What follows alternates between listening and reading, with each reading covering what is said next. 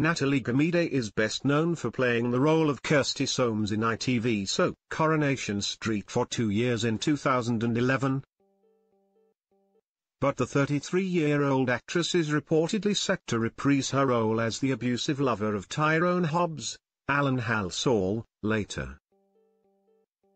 This year after five years away from Weatherfield, during her time on the soap Natalie's character was embroiled in a gripping plotline. Wick saw her put in prison after abusing her on-screen lover and leaving him to look after their daughter, Ruby. But what else has Natalie been doing since leaving Coronation Street in 2013? Here is everything you need to know about the star's career, from her appearance on BBC One series. As well as competing on Strictly Come Dancing, following her departure from Coronation Street in 2013. Natalie put her dancing skills to the test and signed up for BBC One ballroom and Latin dance competition Strictly Come Dancing. The star was partnered with professional Artem Chigvintsev on the 11th series. Natalie and Artem came in joint second place with Good Morning Britain presenter Susanna Reid and Kevin Clifton. But it was model and Britain's next top model judge. Abbey Clancy and expert Aljaž Škorjanec who took home the Glitterball trophy.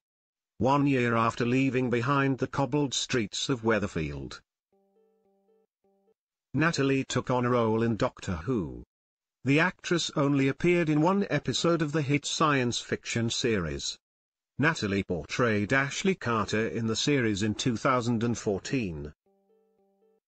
Since leaving Coronation Street Natalie has appeared in a vast amount of TV shows, including Death in Paradise in 2015, which saw her portray Lucy Thompson. The star also featured in Jekyll and Hyde, which saw her cast as Isabella Charming in the same year. Natalie's career has gone from strength to strength, as in 2017 she secured a regular role in Free Rein,